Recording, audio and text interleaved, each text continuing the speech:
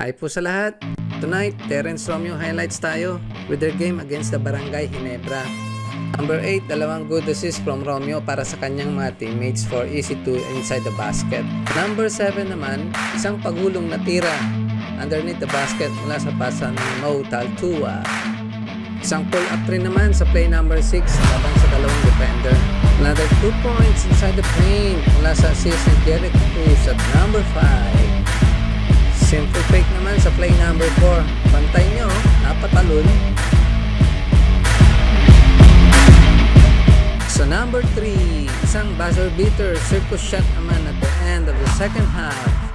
Sa play number 2, back-to-back steals naman tayo. Romeo, parang nagpa-practice lang ng layup.